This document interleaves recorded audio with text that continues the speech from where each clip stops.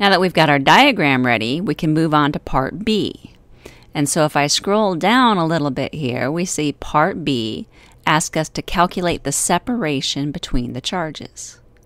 Now in this particular case, it's easy because on the x-axis, all we have to do is make note of the individual positions and then the distance between them is simply the difference between those two positions. So 0.45 meters minus 0.15 meters, which is 0.3 meters. You should be able to figure that out fairly quickly.